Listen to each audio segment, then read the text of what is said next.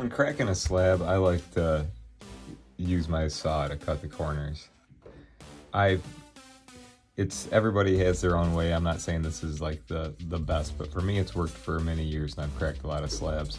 I don't like cutting them and having fragments and weird cracks. Like I've, that's where I've had, once you compromise the surface and then start trying to pry it open, you're gonna have way more ways for that thing to turn in down into a card. So I clip the corners. You can use a little hobby saw. I have a little just, um, in my workshop, I have a, a little box saw that I have set up where I just clip them. It takes two seconds. But you've seen me use a little hobby saw before. That works too. But get those open like that. And that just gives me the confidence for not having a case shatter. You know, if you've ever had that.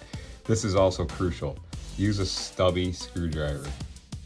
I've seen guys with like these long screwdrivers and then I get pictures sent to me with indents all the way across the card saying, hey, is there any way to fix this? And it's like, you clearly know what happened, you know what I mean? So don't use a long screwdriver. And I'll just like, you know, wiggle my way into like a corner up there. Kind of just squeeze in a little bit.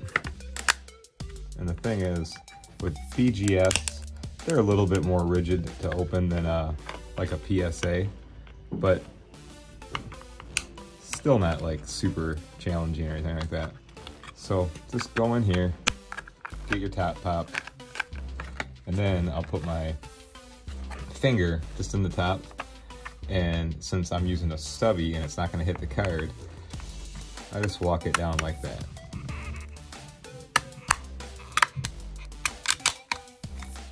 And then you'll get to the bottom and you can open it up. So that's like the standard. And then BGS, also be careful like when, because you'll get like little pieces of plastic.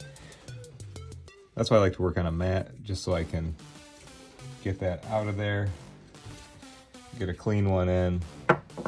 And then BGS slabs do come with, uh,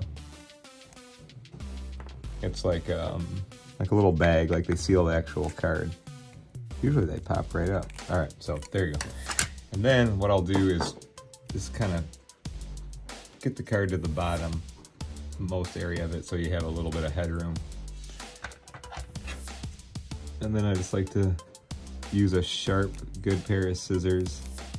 It's like, look at every step of like, how could I mess this up? You know what I mean? So just be prepared, have the right tools, and then it turns into, you know, just like a, a penny sleeve and you can get it out. So now seeing if we can fix any of the issues, that's a, that's a whole nother video, but those are the steps to create to safely crack a BGS slab. I'm Kurt with Kurt's Card Care.